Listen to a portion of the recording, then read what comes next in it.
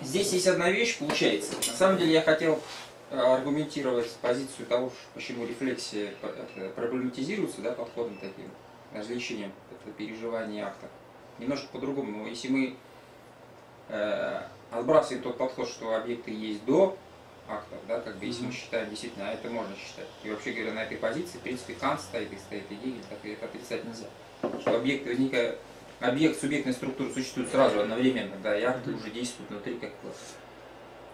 То есть а субъект, объект и акты это есть одновременная структура. Да, там нельзя, нельзя говорить, что что-то предшествует чему-то другому, да.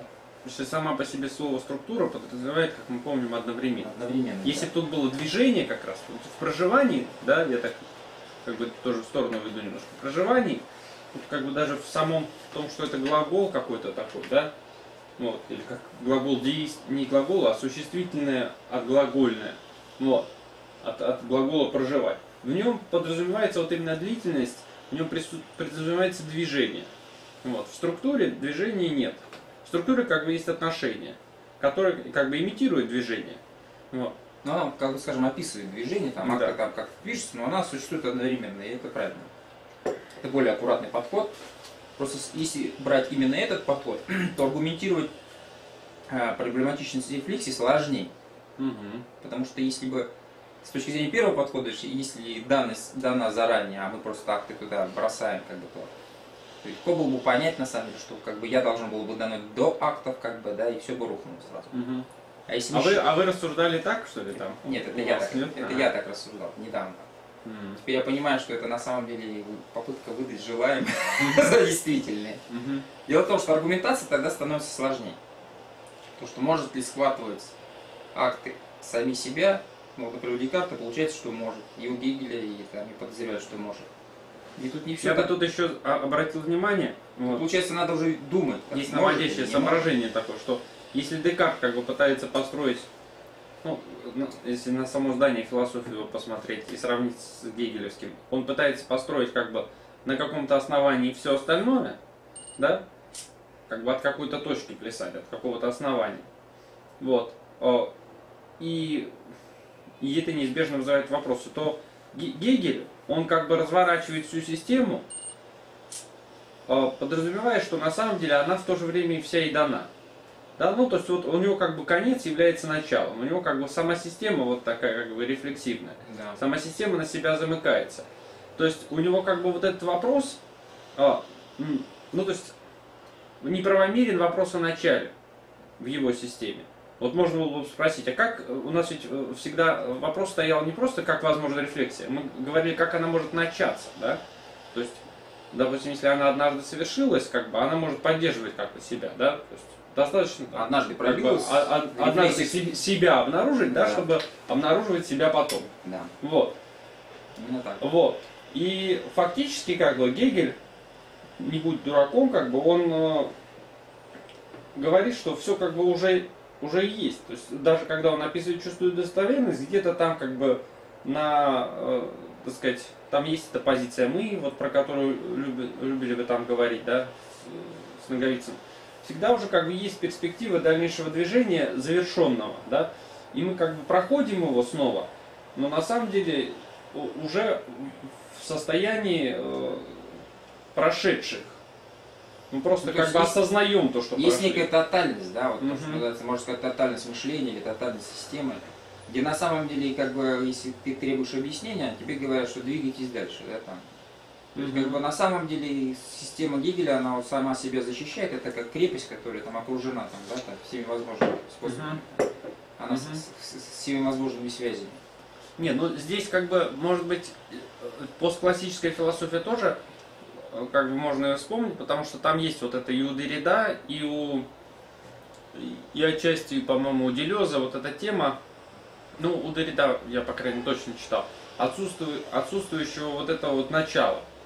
Отсутствующего, ну, там, допустим, они про оригиналы, копии говорят, про перевод, как бы, и оригинал, про, э, про как бы, про то, что начала нет на самом деле, да, про то, что как бы всегда уже есть некое повторение. Всегда середина. Всегда как бы середина, да, всегда, ну вот, мы Мы не, что-то мы знаем, какие-то уже да, да, да, ну, как бы если Хайдегера вспомнить, да, у него там тоже есть какое-то предпонимание, то есть мы всегда как бы уже вброшены во всю эту ситуацию и то есть Такого начала прям как табула раза, да, там Да, чистая да, доска, да. а потом раз, и на этой доске начал мир и наша активность значит, что-то вы- Поэтому- вырисовывать, да, и мы начали растить свой опыт и до- до- до- до- довели его до некой э, сложной системы философии, такого вот, конечно. Ну, Поэтому если как бы, может быть, в своем построении Декарт, может быть, как бы в эту наивность впадает, тоже надо думать, но как бы похоже, что впадает, то Гегель-то, наверное, все-таки нет. Вот. Он как бы заранее имеет в виду, что вот все это многообразие уже дано. Просто как бы, так сказать, внутри него раскрывает некоторую тоже структуру или не- некую, некое движение, да, вот, наверное, все-таки больше движение, на движение это похоже. Внутри того, что и так уже совершилось. Движение, которое уже совершилось, раскрывает. Ну, восстанавливает как-то. Проходит снова. Ну, Поэтому это на самом деле не то, чтобы это, это не ответ на вопрос, конечно, да? Вот. Это не ответ на вопрос. Но в то же время, ну, то есть парадокс вот в чем стоит, что вот мы спрашиваем, как как бы возможна рефлексия, а фактически он отвечает, ну, она вот возможна, это факт, вот, поэтому как бы это как бы феноменологический факт, говорят нам, вот так примерно. смотри, на самом деле просто Но надо, рефлексия или это вот? надо подумать о том, вот, и вот рефлексия задана в классических терминах так, что субъект актов, тот субъект, который в субъект-объектной структуре да, находится, он должен схватить сам себя. Да? По идее, сам, до самого себя он добраться не может. Почему? Потому что он самого себя не знает. Ну, даже, допустим, он себя не знает, но он может добраться до своего акта, да, и может это, схватывать себя как акт. И может быть таким путем добраться и до самого себя. Так это или не так, это пока оставим, э, не будем это обсуждать, да. Это, э, возьмем эту с другой позиции. Нет, ну тут я бы тоже добавил, что даже схватывая себя как акт, да, то есть э, свой акт как акт, схватывая другим актом там, или как угодно, он все равно никакой содержательности себя точно не перейдет, опять же. Никакому там телу, никакой определенности. Вот как ему, так сказать, понять свою содержательность? Или может? Нет, а так и, и у этого... Ну, У Декарта ведь никакой содержательности нет. Я просто есть чистая форма и все. Просто приходим к я как чистой форме. Но потом как-то там, благодаря Богу там, или еще чему-то, у него уже все это возвращается, нет? Благодаря Богу у него возвращается логика. Вот мы уже это обсуждали, как бы на самом деле. А благодаря другому критерию, именно ясности и отчетливости, у него возвращается весь мир. В том числе и содержательность этого Мгм. самого я. Мгм.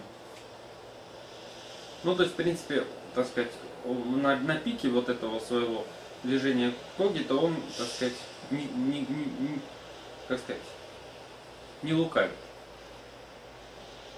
Потом он может там как бы возвращать все что угодно, вот, обоснованно или нет, вот, но Не, Декарта же можно изложить другим способом. Можно изложить так, что я переживаю, следовательно, я существую, и это является очевидным опытом, да, опытом проживания самого себя. Из этого следует как бы все остальное, там, что потом он доказывает, что существует Бог, значит верна логика. Поскольку верна логика, значит это, это у актов мышления есть субъект, а именно я. И все, и все дела, все, все то же самое повторяется. Просто немного построение усложняется и все. То есть он должен был бы начать не, не с мышления, а с переживания. Но это различие у него явно не дано, поэтому для него... Он же ведь на самом деле э, делает такой забег. У него ведь на самом деле любить, страдать и так далее есть модусы мышления. У него есть осознавание того, что как бы есть еще, кроме э, собственного мышления, есть еще много других всякого рода там, вещей. Да? В частности, переживания, такие как любовь, там, страдания.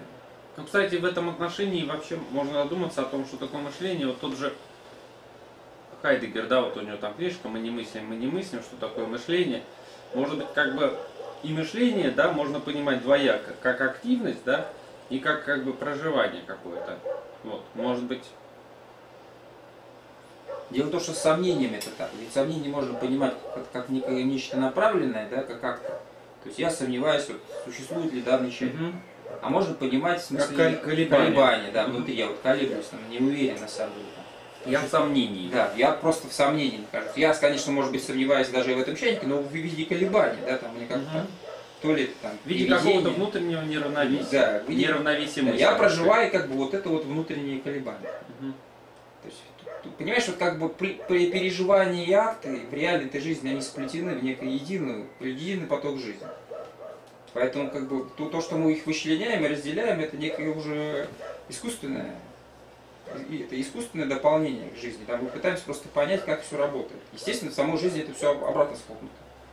Есть единый поток жизни. И в нем есть акты, переживания, и все это единый клубок. Но для того, чтобы в этом разобраться, мы должны различить. А вот мы одно различаем, второе, третье. Чтобы потом, опять же, в этом, благодаря этому развлечению установить какие-то факты и уже смотреть на этот единый поток некими новыми глазами. Понимая на самом деле, что в нем за что отвечает.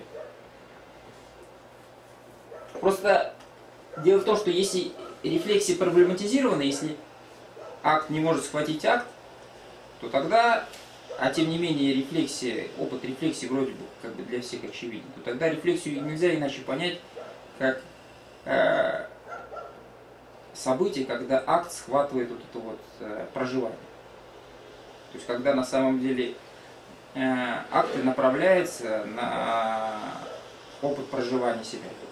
То есть можно проживать себя просто сразу, да, это как бы некая некий особого рода опыт. А можно как бы вот заниматься какими-то актами, допустим, это, э, осматривать э, объекты, да, и вернуться к себе, да, вот, вот, вот возвращение к себе после осматривания, да, вот этот акт как бы возвращения к себе от объектов. Ведь так и понимает Гегель, что, так, что такое рефлексия. Вот рефлексия есть как бы отрицание внешних объектов, да, вот, и возвращение к себе.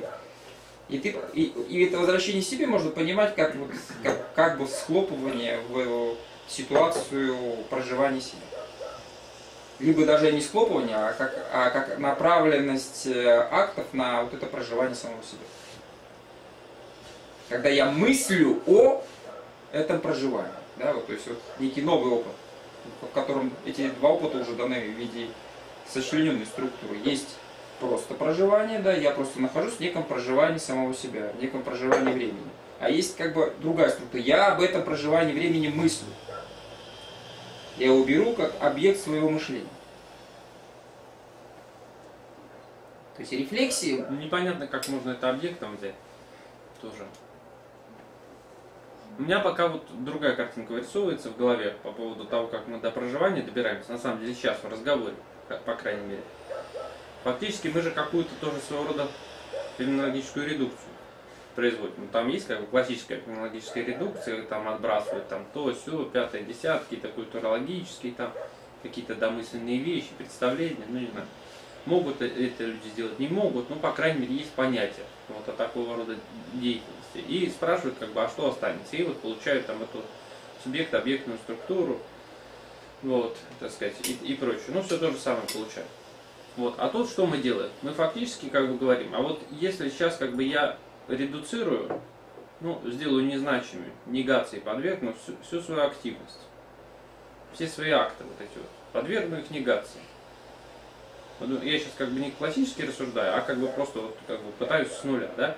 Вот как будто у меня есть активность, у меня, говорю я, да, то есть я не задаюсь вопросом, как это одно к другому привязал, вот она есть. Если я это все подвергну негации, что-то останется, спрашиваю я себя, что останется? Вот. Даже не, не объекта, у, у этого, у, как, у- Сартера у него другой разговор, он как бы подвергает негации мир, да, вот э, это что, что, что, все вот эти вот что подвергает негации, получает ничто, и вот ничто это человек, да.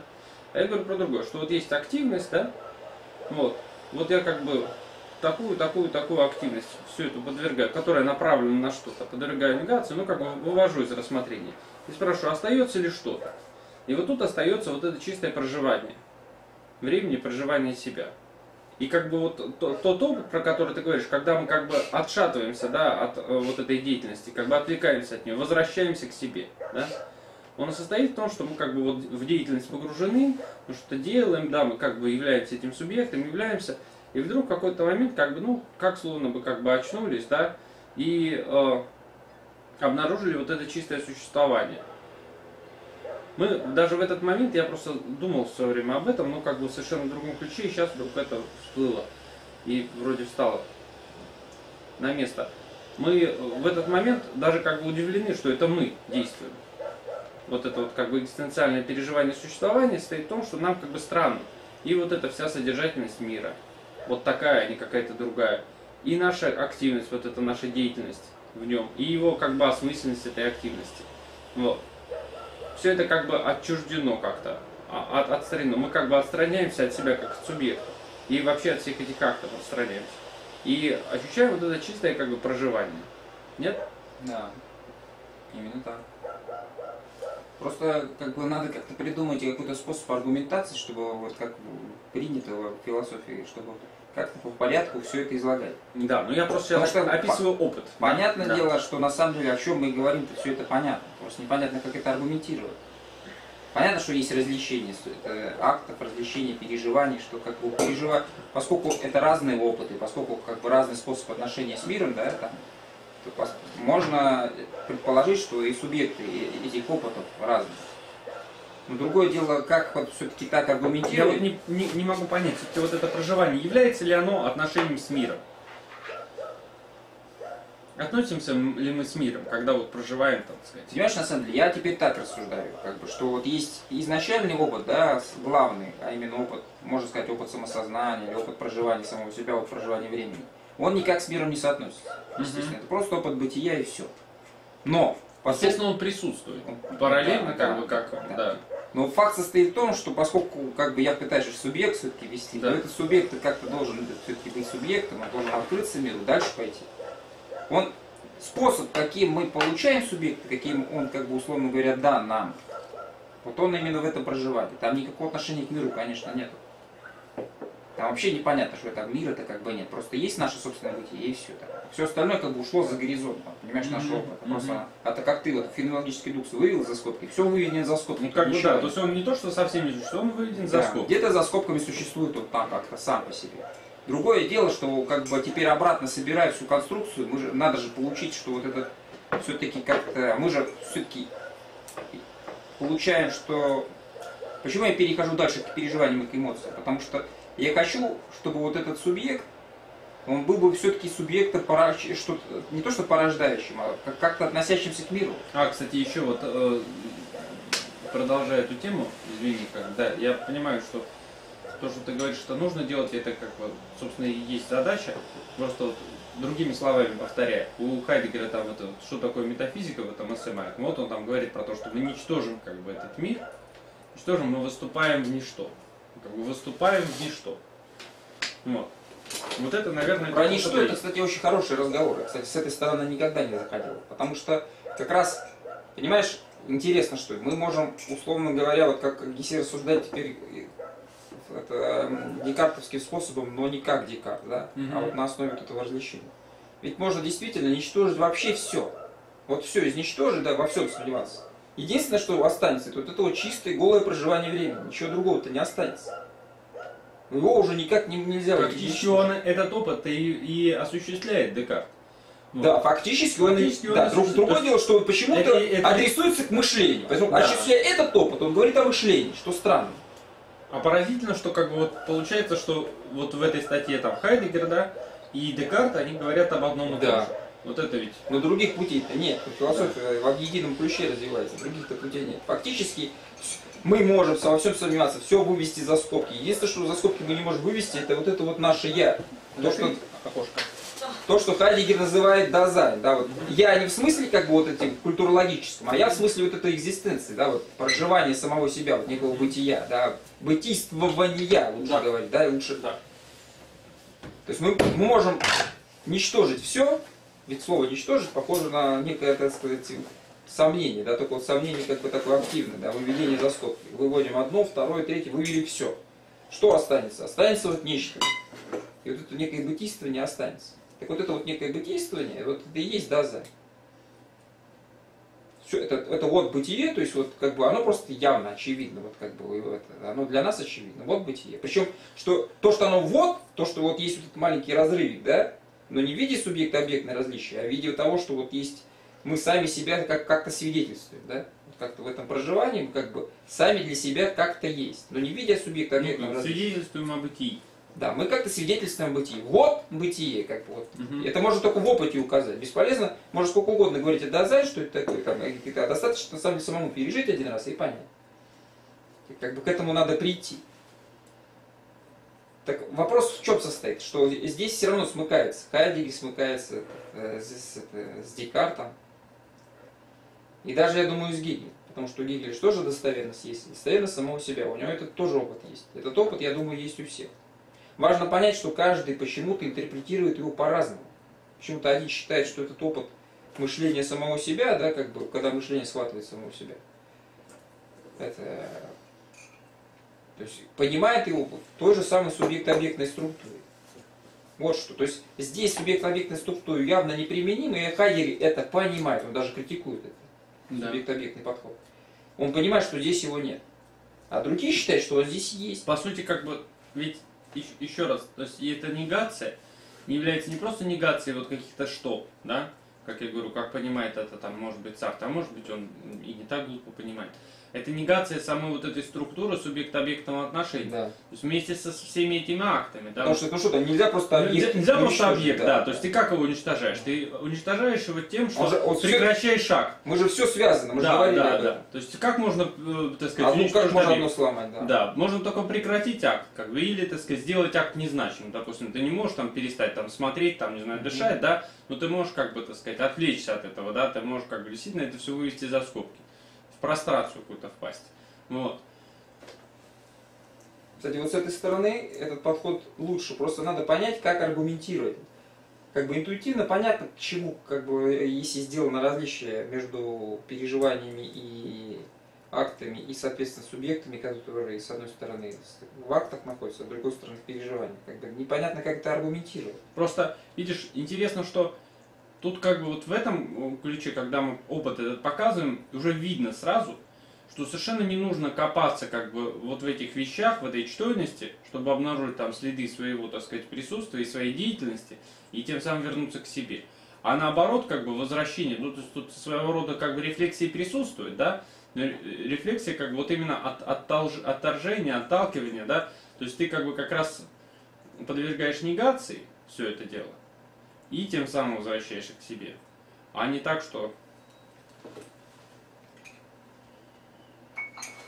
Но с другой стороны, как бы, э, может быть, философия классическая, это имеет в виду, когда, э, то есть, ведь, чтобы, так сказать, подвергнуть негации, опять же, да, чтобы вернуться к себе, ты должен был погрязть. Опять же, то есть, то есть ты был, должен был уже, так сказать, говоря, опять же, хедег- хедегеранским языком, быть в этой повседневности. Ты должен что-то подвергать. Должно быть это вот, что Поле должны быть эти акты, да. Вот. Ты должен, так сказать, из некого что вот выступать в это ничто. Ну, Сначала как бы мы получаем это чистое, чис- чистую экзистенцию, да? А потом обратно все раскручиваем, все обратно да, разворачиваем, да, типа? Так что ли? Нет, ну я к тому, что как раз сначала вот есть вся, вся вот эта активность, как бы, где ты, может быть, там даже как-то вот себя там, может быть, не осознаешь, там, я не знаю, осознаешь, не осознаешь, но вот этим выступанием, как бы, негацией этой активности ты себя обретаешь, то тем самым, как бы, получается, что вот эта вот активность, она и была нужна. Что действительно, как бы, како- каким-то вот таким странным способом рефлексии, вот, но не в таком понимании, как бы, буквальном, да, а в смысле, любопытно все состоит, что активность-то не наша. активность не наша, да. Да, вот в чем любопытство получается. То есть мы не вот это все вы, вы- вытеснив за скобки, мы понимаем, что все это было не наше. Всё это было, все акты да, эти да, были, все да, это было да, не, да. не я. Понимаешь? Да. То есть на самом деле, когда мы уже вернемся туда, мы Да, вернемся да. с просветленными глазами, понимая, что все это нечто иное. То есть оно как-то к нам относится, мы как-то этим всем управляем, как-то в этом и, во и- всем и- участвуем, и вот тут начнется самоучреждение. Да, и тут начнется Вот самоучреждение. мы да. вернемся и скажем, окей, возвращаемся это буду я. берем, за, берем ответственность за, за вот это за все эти акты берем ответственность. Типа говорим, ну другого-то мира нет, вот, что там в ней что-то обретаться. Пойду-ка я заберу все это обратно. И самое интересное, что разговор о возможности, помнишь, мы всегда Да, любили да. этот экзистенциальный разговор о возможности, что человек, что у человека есть проект, да, Мгм. обращенный в будущее. На самом деле, как получается, что мы вот есть это бытие, да, вот это вот острие, как бы вот эта экзистенция, вот это вот, которая не, не зависит ни от какого что. И мы можем взять на себя, вот вопрос об учреждении здесь получается самый главный, мы можем взять и учредить себя любым способом. можем вернуться как бы вот в этот мир актов, да, как бы мир как бы объектов, и суб, это мир субъекта, субъекта, который совершает акты, и уже учредить, то есть принять на себя ответственность за все, за весь мир. Или за счастье. Ну, этого или, мира. или, может, так сказать, говоря такими эти, театрально красивыми словами, так сказать, это вот, вот это вот проживание, да, вот, вот такая площадка какая-то пустая, свободная от всякого, то что это место, куда мы можем выст- отступить и переодеться. Да, в любой момент. Вот. Отступили, переоделись и вернулись, Да, понимаешь, другими. момент И по-другому пере, как бы, переструктурировали все эти акты и так далее. Вот. Если бы мы как бы были в них, э, э, так сказать, как в сети завязаны и не могли из них выпутаться, мы бы, так сказать, и ни, ни о какой возможности этой речи бы и не шло.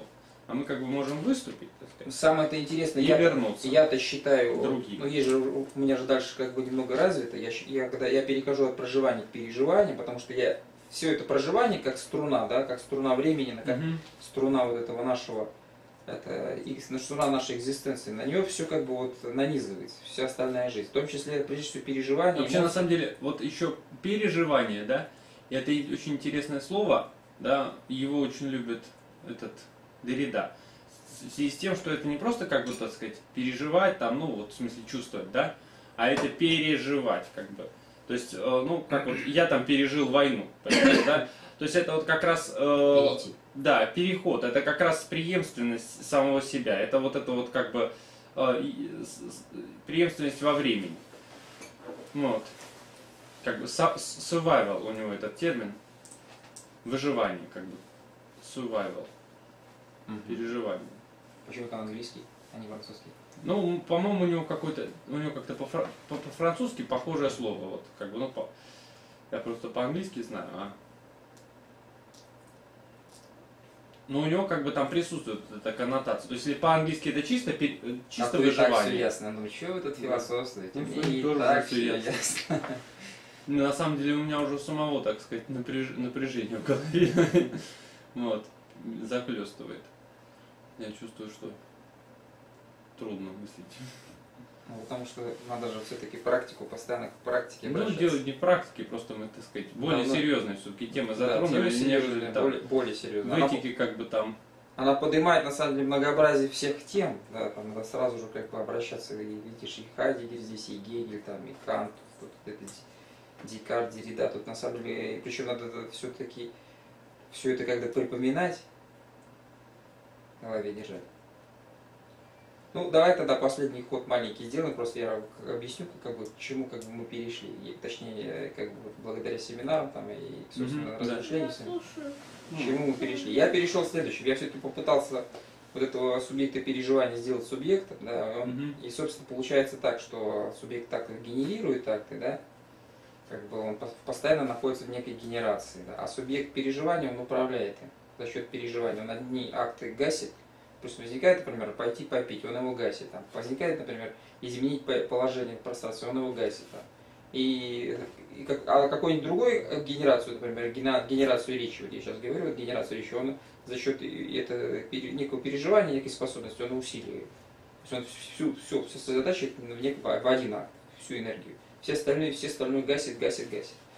Как бы они все равно остаются, эта генерация где-то под- подземно идет. Естественно, когда-нибудь мне надо будет попить, и когда-нибудь мне надо будет там позу изменить. То есть как бы он контролирует, то есть мы на самом деле с собой контролируем тем способом, что мы вот тут к этике очень важный вопрос. В этике как подразумевается? Помнишь, мы говорили, что субъект, свобода субъекта состоит в том, что он добавляет еще одну причину в цепочку, вот эту Мгм. детерминированную цепочку причин. Да, и тем самым мы как бы свободны, да, мы можем осуществлять нечто. Потому что мы добавляем свою причину и как бы в общую цепочку, и тем самым движемся. А на самом деле получается не так. Полностью, субъект так полностью завязан в детерминистическую цепочку причин. Он там у него какие-то и происходят действия, там какие-то, совершаются какие-то акты, все детерминистически полностью. А поскольку субъект переживания, он вовне находится, он может от всего, как мы сейчас говорили, уничтожиться. То есть он находится вообще там непонятно где. Он может просто от всего от, отвлечься, уйти в себя, что называется, да? Но у него состо- он научился управлять всем этим тем способом, что он может как-то гасить.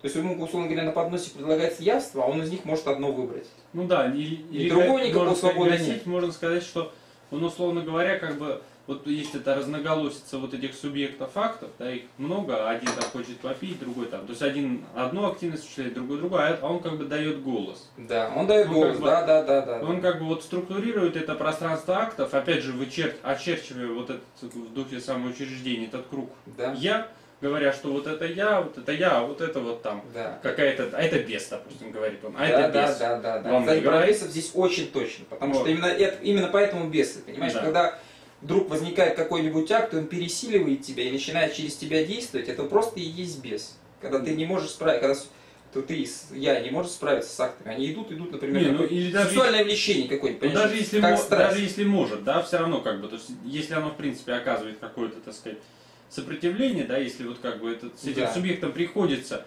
как-то, а, то есть э, каких-то загасить очень легко, вот, и как бы не нужно для этого больших там, не знаю, усилий. Или А. Каких-то сложно, согласен. Есть некоторые акты, допустим, ну, вот, допустим, все-таки вот сексуальное влечение, Ну да. сильный же, сильный же акт, он на самом деле постоянно возникает. Он, хочешь, не хочешь, он всегда постоянно всплывает, так или иначе. Он на всю жизнь нашу влияет, он просто как ог- огромная генерация происходит. Вот, э, можно с ним бороться, допустим, какой-нибудь монах, да, он с этим борется, там, с каким-то успехом. Понимаешь, там?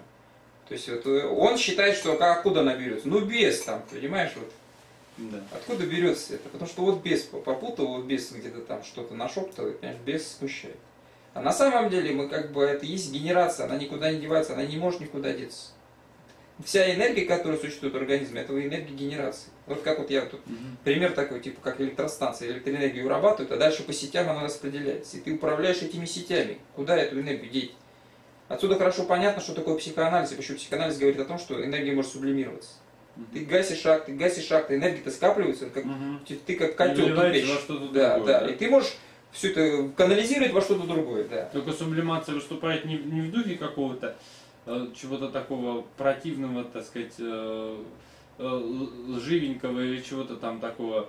А то есть это и есть как бы, собственно, э, механизм воли, Да. так сказать. Именно так. Вот, вот теперь ты видишь, что ты легко. Мне всегда нравится с тобой разговаривать, потому что ты предвидишь, что хочешь сказать. Это и есть воля. Да. Воля управляет тем способом, что ты гасишь, гасишь, гасишь, гасишь, и единый поток, он просто идет, канализируешь в одно, в один процесс. Ну еще как бы про волю там еще есть какие- кое-какие Плюс- дополнения. Плюс Да. к этому, как бы, тут опять же видно, вот ты про монаха говорил, тут видно, как бы, вот это вот, а, воз- вот, на основании, каким образом Ницше возражает христианству. Видно, что он как бы говорит, что не надо ничего гасить. То Да. есть, когда он выступает за жизнь, да, он Да, говорит, именно что так. дать волю, так сказать, всем вот этим. Ницшанская всплыла, Да, именно да. так, да. Пусть как бы все, Да, да, эти так. субъекты действуют и реализуются. Да. И в этом смысле он как бы и берет на себя ответственность. Он на же, стороне них. жизни да. стоит. Да, да. Именно так. Именно так. Он Раз стоит- это есть, как бы, да, не- и, и в этом смысле он изгоняет всех бесов, да. То есть, как бы, бесов не может быть, потому что все это я. главное возражение христианству. Стоит христианин, понимаешь, и он знает, каким человек должен быть. Да откуда он знает, каким он Мгм. должен быть? -то? Откуда ты знаешь, что, понимаешь, святоша? Вот у него же главное возражение это. Понимаешь, ну, вот есть полнота жизни какая-то, да, вот это есть генерация, это есть, да, которая на самом деле не является генерацией только одного организма. Генерация социальная генерация. Просто мы, есть социальный, вот если, условно говоря, мое тело как машина, а есть же социальные машины, да, там институты есть, там, это там, много чего есть на самом деле в обществе. Это тоже все генерируется постоянно.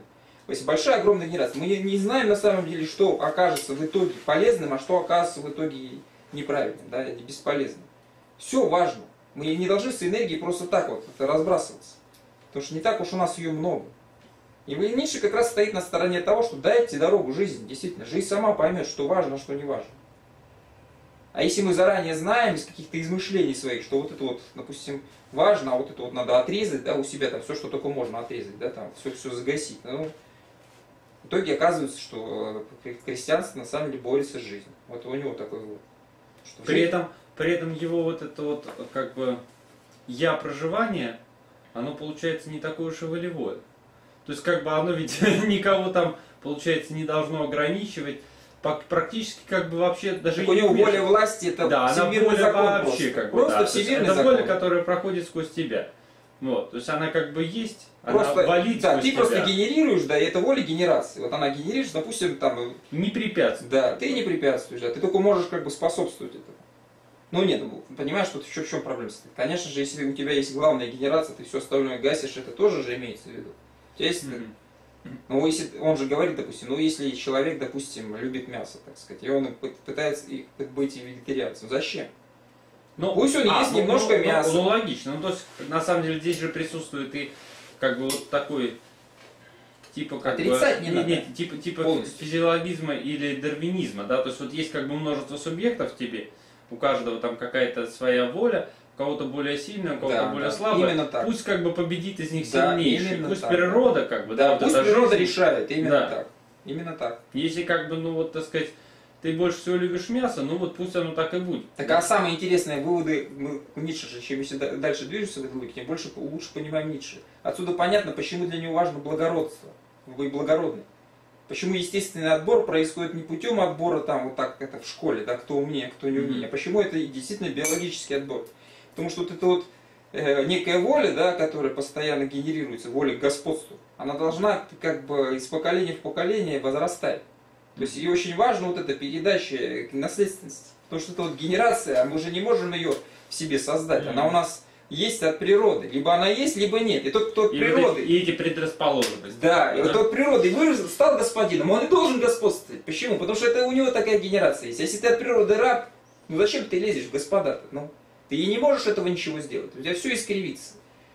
Потому что природа должна это, а- отобрать, кто должен быть господином, кто должен быть благородным, кто должен оставаться рабом. Понимаешь? И, те рабы должны служить господам. То есть он полностью хочет вообще все отдать этой, же- этой природе. Всю волю нашу. Помнишь, вот Шопенгауэр говорит о том, что это есть мировая воля, и она через нас как бы это, какую-то свою волю навязывает миру. Но у него она как бы такая неумная, да, воля, она какая-то темная воля, она-то непонятно, что хочет. Да, там, она хочет только вот плодить, плодить это и, это, э, и плодить и размножаться. То получается, что эта воля у Ницше совсем другая, она как бы разумная, понимаешь, она хочет, чтобы как бы что-то улучшалось. Почему? То есть, почему-то она хочет, чтобы жизнь когда возрастала и улучшалась. То есть она является волей к власти. То есть, чтобы она расширялась, углублялась, становилась сильнее.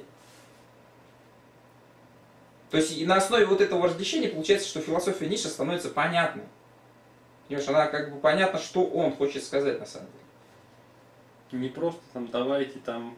А не просто так, давайте вернемся к вот это в рабство, типа в рабстве было правильно, а сейчас типа неправильно. Ну, Почему или, неправильно? Или, там вот в какой-то это не морализаторство. строй, да, это, да. да, это не морализаторство. Добрым, вот что, да. добрым дикарям. Самое интересное, что это все-таки Ницше можно понять как морализатора. Да? Он считает, что раньше было вот хорошо, там такие благородные были господа, там они вот так много создали в культуре, там это в, в этом э, в религии, в этом в государственном строительстве, вот сколько они всего сделали. А сейчас все обмельчало, там туда-сюда. Это как бы можно было бы сказать, что это морализаторство. Раньше люди были хорошие, цельные, а сейчас, мол, типа обмельчали.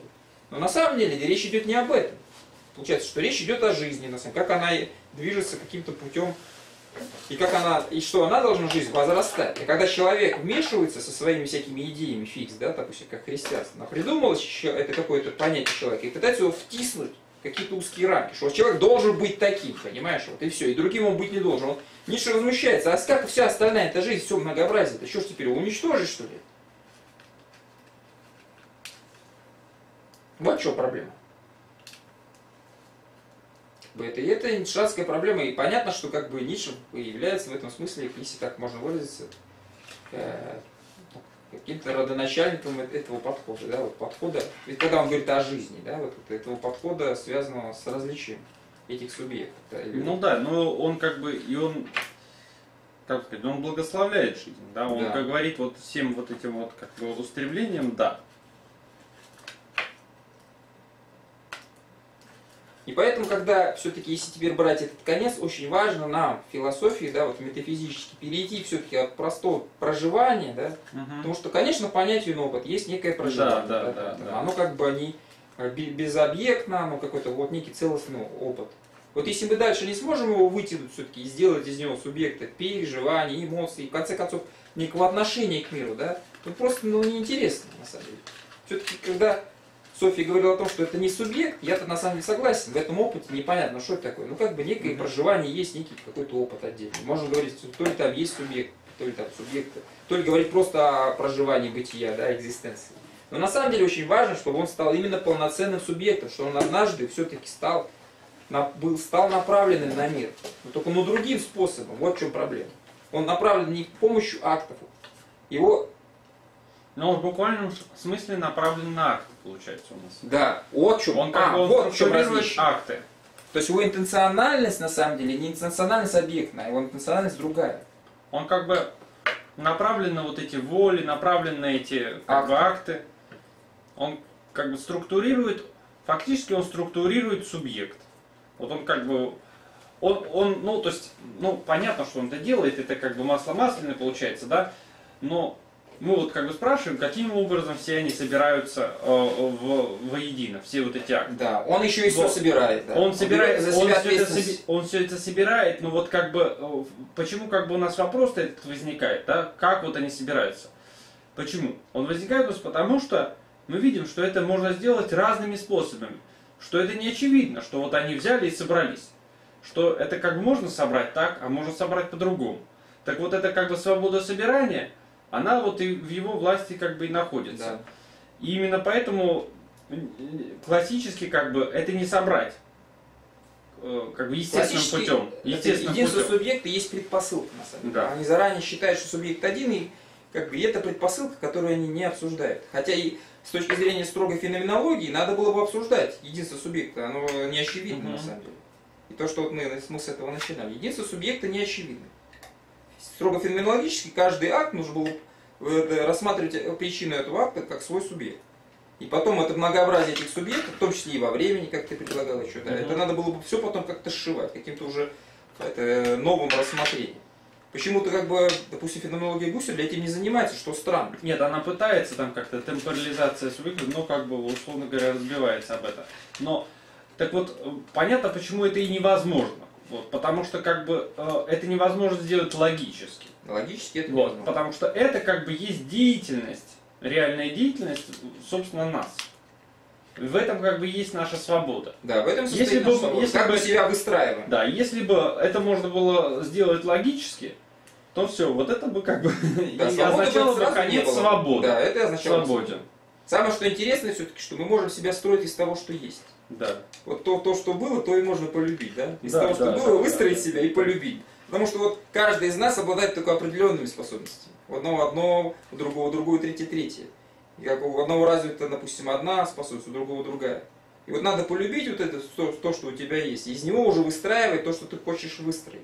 То есть здесь как бы одновременно так и колебания интересны, что все-таки что-то предзад, преддано что-то, да, вот энергия, Ну, вот эта вот генерация, это- она преддана. Это что же тема этого э, Ницше, там это Амор Фати там. Да. Вот, э, полюбить свою судьбу. Так потому, потому и важно для Ницше, вот тут важно, чтобы была... Почему? Вот можно было возмутиться, да, он, допустим, Я раб, проповедует я рабство, хочу, да, рабство да. проповедует. Да, вот допустим, я родился рабом, да, Да. у меня устремления рабские. Я возмущаюсь. Почему я должен быть Да, да, рабом, да, если да. у меня такие А устремления? суть да? вопроса состоит в том, что ну, ну, что тут сделаешь? Ну жизнь такова, да, вот как бы вот есть некая есть некий это, жизненный отбор, да, который уже не от нас зависит, да, условно говоря, вот, вот отбор судьбы там, или отбор Бога, да, вот Бог нас отбирает, как-то можно так выразиться, да, если вместо судьбы, да, которая все-таки является там, ну, как безликой, да, там, Мгм. брать все-таки более разумный отбор. Типа вот Бог нас как-то избирает и каждому что-то дает, да, какие-то набор каких-то генераций, которые, набор талантов. И вот на основе этой генерации мы уже можем выстраивать уже свой город, что если так можно говорить, самого себя выстраивать можем. И выстраиваем его именно тем, что одни генерации мы гасим, уничтожаем, а другие генерации поднимаем. Кто-то, например, наоборот, считает, что там общаться там самое главное. Там, Ну, главное, в любой момент ты можешь, так сказать, Да, это лю- да, в любой момент я могу переиграть, да. Им- именно что. Можно переиграть. Но в некотором отношении у нас вот есть именно эта свобода, собственно, строительства. И никакой другой этой свободы и нет. Потому что, потому что, вот, например, у Канта, Кант же задается вопросом, каким образом в детерминистическом мире возможна человеческая свобода? И у него единственный выход, что есть Бог, который вот такое чудо совершает, да, что он позволяет свободе себя как бы вот в этом мире детерминистически проявить, да. А для ему он этим самым, ведь в практической философии устанавливает необходимость Бога. У него в теоретической философии доказывает, что Бога быть не может, и он не нужен, это как бы пустая идея. А в практической философии он доказывает, что она необходимая идея, чтобы вообще мир свободы и мир необходимости мог как-то согласованно действовать. А ведь теперь, если взять наш подход, Да, получается, что даже и этого согласования не нужно. Потому что вот этот выбор, это в некотором отношении как бы одновременно и детерминацию, да, и свободу как-то в одном ключе соблюдает. Потому что есть детерминация, вот, постоянно есть генерация. Но я могу из них выбрать. То есть свобода интересная получается. Мгм. То есть она внутри самой детерминации остается. Вот что любопытно. ну это, это и правильно, то есть в том отношении, что это как бы, так сказать, согласуется с тем же Парменином, да, вот есть как бы, есть э, что-то, да, есть вот как бы, есть нечто, вот, и можно выбрать только нечто, вот, можно Да, выбрать только да, да, да, существующее, нельзя выбрать, так сказать, то, Что- чего нет. Согласен. А так получается, что свобода это не это какое-то ничто, да, и оно Мгм. откуда-то непонятно приходит, сваливается, да, и почему-то оно должно быть. И каким образом оно есть, непонятно. Да, согласен, что есть что-то. Свобода это осознанная необходимость, да, чуть ли не до этого можно скатиться. Ну, понятно. Кстати, между прочим, вот это я всегда восставал против этого определения. Потому что у Гегеля получается, что свободы как бы нет. Ты можешь осознать, что все необходимо, как бы и двигаться в соответствии с необходимостью. Там. Как он, собственно, свою жизнь прожил. Будучи философом, он, тем не менее, поскольку необходимо иметь детей, он имел детей, поскольку необходимо было там их кормить, он их кормил там и так далее. Ну это просто разговор о том, что вот есть как бы, так сказать, мир, есть как бы твоя там активность какая-то, да, которая тоже, в общем, как бы тебе дана внешним образом каким-то, да, отчасти. Вот. И ты можешь либо согласиться с ней, либо ее отрицать. Но отрицая ее, как бы, ты находишься в этом ничто. Ты как бы, ты не существуешь, Да. можно сказать, да? Ну вот. То есть, и все, что ты можешь, ты можешь только согласиться. Вот. Вот, а теперь мы хорошо подошли и очень быстро. На самом деле. Теперь вопрос, как бы, так возвращаемся к формальной этике. Очень любопытно получается. Есть отрицательная этика, да, где мы можем вот своим вот этим внутренней генерации не дать слова. Вот, например, возникает генерация, хочется петь. А петь нельзя. А возникает генерация, хочется общаться. Общаться нельзя. Ты можешь, то есть возникает как генерация, хочу убить. Вообще это убивать нельзя. Да? Ты можешь, условно говоря, все подавлять. Мгм. Но это э, не конструктивно. То есть фактически будешь сидеть и ничего не делать. И потому, на самом деле, поскольку единственная энергия это энергия генерации, и для того, чтобы что-то делать, помнишь, я говорил о том, что Мгм. пози- позитивная заповедь состоит в том, чтобы осуществлять свою свободу. На самом деле позитивно в чем состоит? Ос- осуществлять как бы в общем то что то что то что и так есть Да, то вот что и есть- так дано Да, скажем, вот дано, допустим, мне тщеславие, эта энергия очень сильная. Я хочу осуществить какую-то далекую цель, допустим, написать книгу. Я беру эту энергию, оседлываю ее, и пускай она двигается там. Вот, например, вот почему нужно, теперь возвращаясь, почему нужно видео снимать. Я просто хочу заставить себя с помощью тщеславия, там, какой-то славы, там, какого-то вот вот вы смотрите вы знаете про него все да это, внешнего, внешнего какого-то антуража, я хочу заставить свое тщеславие работать мне, чтобы Да. я добился своей цели. Я хочу вот эту энергию даже канализировать. не своей цели а чтобы просто вот так сказать работало Чтобы работало. была жизнь Да, чтобы, ну это, это во-первых, на самом деле, что иначе жизни не бывает. Если все отрезать, на самом деле, ты будешь сидеть и ничего не делать, жизни-то никакой не будет. если как бы про этику еще говорить вот помнишь там это кантианский разговор про прагматическое намерение там как бы или там так сказать моральное намерение какое-то доброе ну как бы бескорыстное и так далее можно тоже понять как бы эти намерения как множество так сказать актов то есть вот допустим вот есть некое э, что-то происходит, Да. да. и у тебя возникает Точно. как бы и этот акт, Да, и этот да, акт, и да, этот акт. да. И они все есть. Да. Вот Именно когда я так. говорил, что все переплетено, Да. и как бы не наш вопрос, так сказать, э, вычленять, искать ситуацию, где в чистом виде есть одно вот это намерение и другого быть не может. Такого не будет. Всегда как бы есть вот эти другие субъекты. Но ты кому-то как бы даешь голос. Да. Вот. Именно так. Просто самое это важное, что другого способа осуществить свою свободу, осуществить свою цель, кроме как выбрать какую-то энергию, которая из тебя плещется, да, оседлать ее и двигаться, нету. Не- мы не можем стать причиной цепочки причин. В том смысле, что вот я не может взять какую-то Мгм. новую причину вставить. Его некуда вставлять.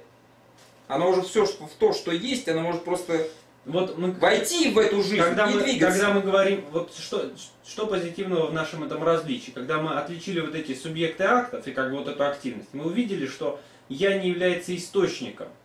Да. Вот, то ты Да. говоришь, она не является причиной, она не является источником. Да, все правильно. Вот, точно так же, как, допустим, мы понимаем, что э, не нам, э, не мы сами себе дали жизнь, так сказать, Да, не, да, не- да. не мы себе даем время. На нас все это как бы изливается. От Бога ли там Да, еще это как благодать, это Или быти- слово. бытие, как бы Это вот как это. благодать. Да, да, вот это бытие, там у у Хайдегера там Бога нет, но есть вот это бытие, которое дает. Бытие дает, понимаешь? Вот. А мы как бы действительно, так сказать, либо как вот этот вот, э, так сказать, переструктурирующий какой-то элемент, либо, так сказать, если когда мы про время говорили, мы говорили как этот, как э, стрелочник там, как распределяющий, так сказать, его. Как, Как упра- вот. как управляющий. Да, как управляющий. Мы можем управлять собой, вот, в буквальном смысле. То есть мы многообразие генераций, да, которые как-то вот э, не обязательно даже на самом деле является целостной. Она может еще субъекты и разваливать, или Да. может быть противоречивой, а как генерация Конечно. противоречивая может быть. Да так оно и есть, как бы, Да, практически во- всегда, да. Всегда, да. Я, кстати, это- мысли иногда просто разрывать. Иначе бы как бы и не, и не нужно было, так сказать, ими управлять. Да. Может быть, как бы не противоречивые, э, как бы вот эти генерации. Может, это животные. Я думаю, у них тоже бывают противоречивые. Поесть, допустим, или убежать. Знаешь, вот бывает, как А, да, когда так они так, так, да? на улице кота Да, да, да. Колеблется, опять же, колеблется. то ли, то ли довериться, Сомнения. да, ну покушать хочется, то ли убежать, а схватит. Ой. Ладно, коты неисповедимы, все. Нет, факт состоит в том, что еще вот тут есть оправдание всей жизни, даже вот жизни котов, понимаешь? Потому что в этом отношении я подозреваю, что мы в единой структуре находимся, вся жизнь в едином ключе находится. Не так, что люди какие-то созданные Богом, пон- понимаешь, по, по образу и подобию, а все остальные животные мусор, понимаешь? Не ну тут как бы одновременно возникает и оправдание классической философии, которая настаивает там на знании и так далее. Если как бы действительно вот, так сказать, познавание такое, как бы нака- накапливающее, так сказать, анализирующее там, так сказать, вот это вот логическое поз- познавание, оно доступно только людям, предполагаемый, да, это как бы и есть тот какой-то особенный талант, который, по идее, как бы они должны развивать, да, ну, так сказать, э, как сказать, но он как бы выделен становится. Он становится как бы такой вот один, одним из э, заранее данных предпочтительных выборов. Но непонятно, правда, Мне больше всего нравится, что человек становится проектом не любым. Это тоже Мгм. важно. на самом деле. Мгм. То есть есть все-таки как бы какое-то, ну, может быть, не полностью там детерминированная, но какая-то судьба все-таки есть. Да? То есть все-таки ты можешь в рамках неких способностей, которые тебе даны, да, и, до, и даже должен в них двигаться, потому что Мгм. и другой энергии у тебя нету. То есть у тебя вот все, что есть, это вот твои как бы вот генерации. великий комбинатор, да? А ты даже, да, нет, ты можешь, конечно, комбинировать так как-то, и может быть накомбинируешь так, что как бы уйдешь далеко, кто его знает. Да, но как бы, но комбинируешь ты из Из змей. того, что есть, да, как бы там. Кому-то может быть вообще мало что дано там, а кому-то дано очень Не, ну, много. Не, ну на самом деле я думаю, что все-таки дано, как бы, это тоже вопрос, да, можно ли вот так? как-то. Я думаю, что устремлений-то очень много в человеке разных. Потенциал, Просто- потенциал. Может быть, как бы, очень много как бы устремлений просто задавлены, так сказать, изначально как-то. Может, а, ну, воспитанием, да, там. Да, да, социальной жизнью какой-то, да, же запрещены же многие вещи в социальной среде. Мгм. Причем в, в каких-нибудь древних обществах там вообще все задавлено. Вот смотри, древнее общество вообще все Ну да. задавлено, да? Мгм. Потом постепенно все-таки свобода как бы индивиду дается, дается. Сейчас в наше время уже так, свободы более-менее уже много. Там, благодаря там, вещам тем, что как бы там, я не знаю, там регуляция, видимо, там общество там, на более высоком уровне стоит. То есть сейчас, а и поэтому вроде сейчас получается, что поскольку Просто много реализации Я- больше. Смысл, смысл в чем? В том, что поскольку как бы не ты являешься субъектом этих актов, ты и не знаешь их всех. Как бы не так, что вот они все как бы тебе, они как-то проявляют себя, и тогда ты там можешь как-то... Или знаешь ты их всех? Наверное, не знаешь. Я Вот думаю, и- не знаешь. Ну, Когда мы же постоянно сомневаемся, там, умеем мы это, или можем, сможем мы это, не сможем там на гитаре играть. Допустим, могу ли я на гитаре играть, будет ли мне это интересно. Могу попробовать только, понимаешь, только так и двигаться ты еще как настойчиво бы в этом направлении. Немного вслепую как бы Всегда вот это все вслепую, структурируешь. всегда. Да. Точно так же, как вот почему в школе. Я всегда говорю, что в школе очень важно именно давать многообразие, чтобы человек мог уже в школе понять, на самом деле, что для него Познать себя, важно. да? Да, да, да. И, кстати, слово «познать себя» звучит тогда более по- по-другому. Понимаешь, что значит познать себя? Вот понять, на самом деле, какую генерацию у тебя является главной, чтобы ее развивать с точки зрения эффективности. Допустим, кто-то может быть поэт хороший, кто-то музыкант, а кто-то там философ, там, понимаешь, а кто-то может быть там, не знаю, там, тот же там слесарь, там, понимаешь, гениальный. Или, ну мало ли как может проявиться талант. То есть надо вот как бы вот это, искать этот талант. И на него садиться и двигаться, потому что только какой-то талант может тебя далеко вывести. Потому что энергия это на самом деле, она вот, она не твоя. Ты можешь только эту энергию просто приветствовать, когда она есть. Она вот из тебя истекает, как бы ты можешь ее просто усилить своими эмоциями, двинуть дальше. Получается, мы оправдываем Страсть. государство. Я на самом деле самый смешной, мы оправдываем страсть. Ну и страсть тоже. ну, Потому что получается, вот при христианстве все-таки считают, что страстным быть нельзя, надо быть таким умеренным, таким, знаешь, хладнокровным. А тут, получается, страсть. Ну, да. Где-то, ну, там, Вот то, что ты есть играешь, же вот, поэты, вот там ты должен оседлать эту страсть Да, своей игры, игры в игры, Вот я уже там. чтобы куда-то Я- двигаться дальше. Топ-11 мира там или что-то там духе. Даже топ-11 уже? Да, я топ-8 был в какой-то момент. Потом вынесли мое племя полностью. Вот, и я остался один. Вот, и Мира даже? Да, Короче, мировая мира. игра, что ли? Не, ну как бы вот в это там несколько миров, но не суть. А, я, вот. я, короче говоря, что хочу сказать, что на самом деле, вот смотри, получается такая структура, э, вот, что как будто бы есть какое-то вот сообщество этих субъектов, как вот как бы как народец такой, вот, как какая-то да, социальная да, да, группа. да. Кстати, вот это И хороший ты, разговор. и ты да. выстраиваешь там иерархию. Ты как бы там к- кого-то назначаешь на разные Да. должности, понимаешь, кого-то кому-то подчиняешь, кого- кого-то возвеличиваешь, там, кого-то, так сказать, увольняешь. Вот, доп- допустим, кто-то поставил его Прошарился. руководить, да, все как-то пошло не так, ты его, значит, это, куда-то там вниз. Вот. И получается, что э, вот как бы тебе и модель государства. Да. И поэтому государство выстраивается тоже не зря. И не зря мир, это общество, ну сначала племя, да, какое-нибудь структурируется, да, есть вожак племени, да, и остальные. То потом. есть мы социально внутри себя. Да. Вот. И потом это социально Мы не просто как бы к себе как к другому относимся, да? То есть вот какое-то там отношение, там я, ты, там и так далее. У нас целый социум внутри. Да.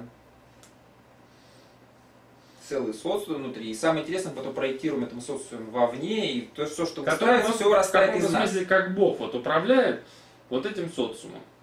Причем, как бы я же придерживаюсь, откуда можно же провести и придумать, э, эм, как это называется, там, эволюционное обоснование, почему возникло я. Оно Мгм. возникло именно для того, чтобы люди могли совместно жить, да, и как бы нужен был контроль какой-то, да. Мгм.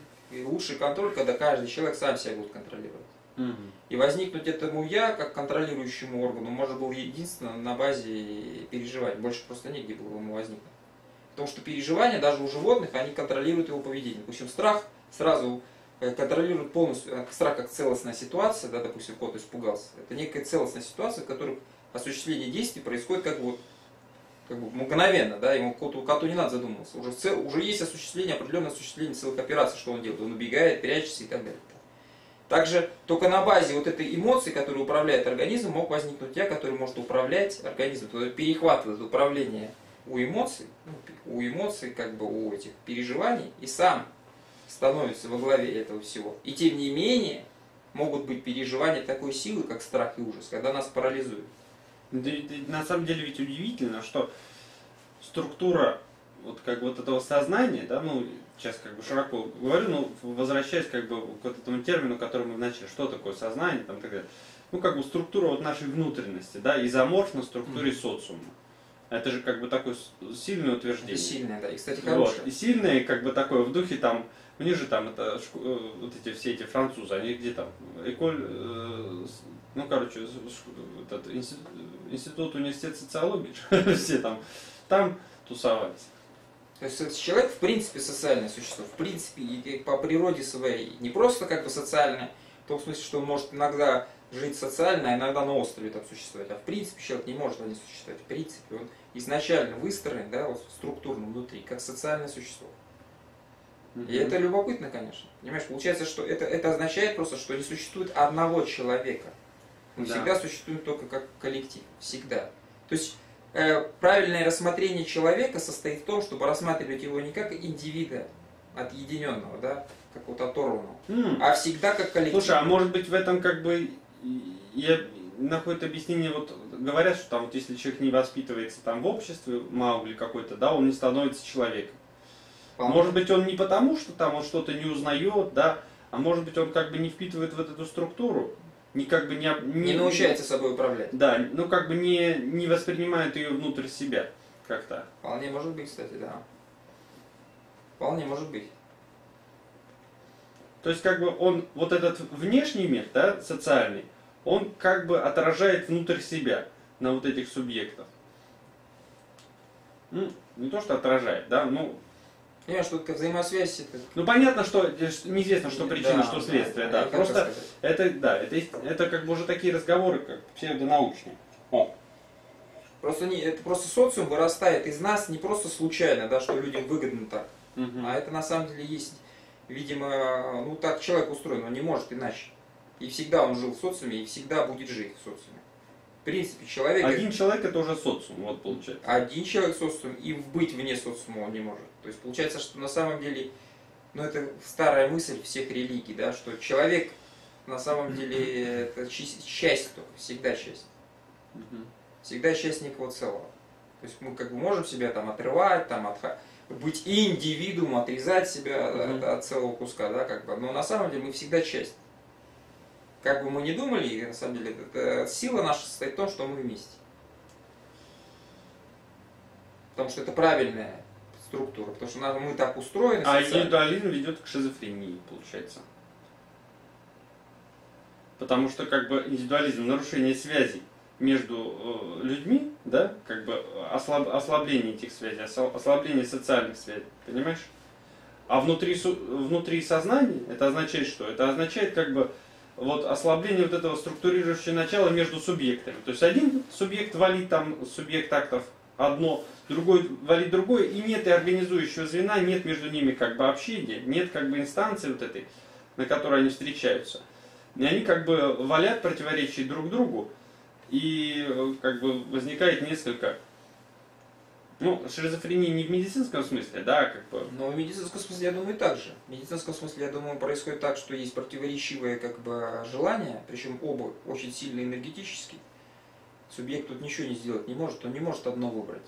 Просто Мгм. потому, что у него, ну, ну, нет у него силы, что, не, не может я, я не может, да. Я не, мо- не, не- это я, я не может зашкаливать так. Он, э, за- его эмоции либо перешкалит просто там, что все выгорит, или, ну, условно говоря, там есть две энергии, и он не Мгм. может ничего сделать.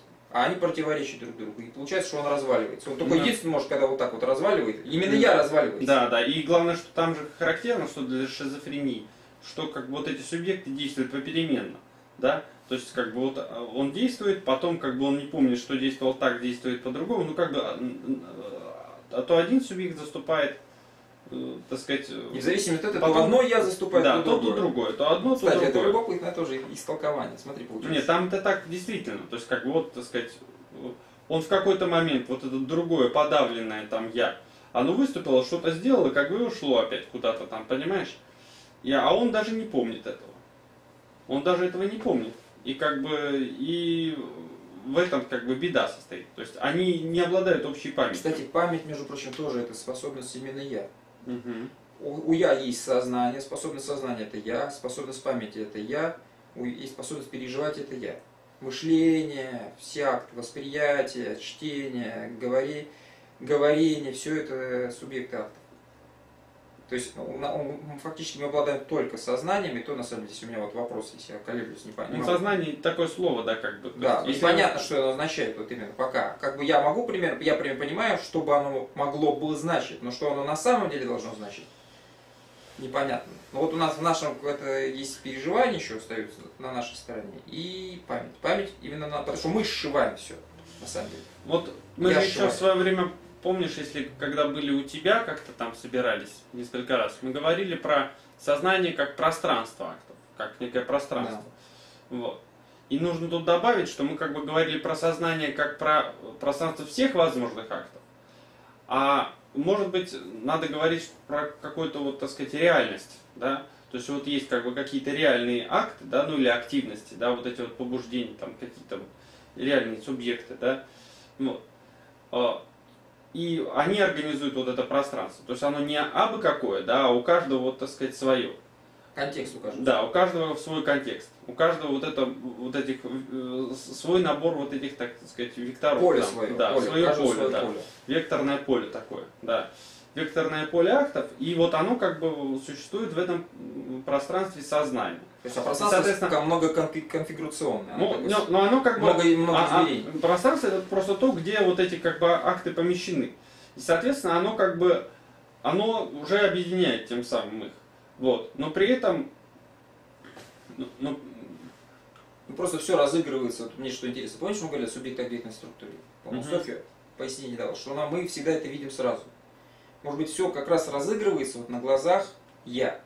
Мгм. Вот все эти акты, все это движется на глазах я. В каком-то Мгм. смысле вот оно потому и сшивает все. Что все, что происходит, оно понимает, что происходит как бы вот с, как бы с ней. То есть на все на его глазах.